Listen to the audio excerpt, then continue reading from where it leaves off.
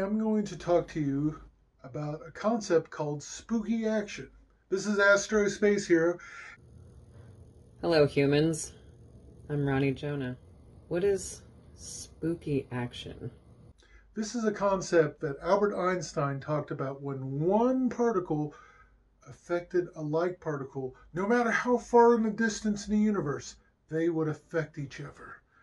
Albert Einstein called this spooky action at a distance, where two particles could affect each other no matter how much of a distance in the universe.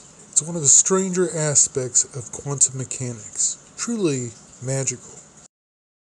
It's in a weird world of the quantum realm where things seem almost like magic. So this is called spooky action. Can we quantum jump?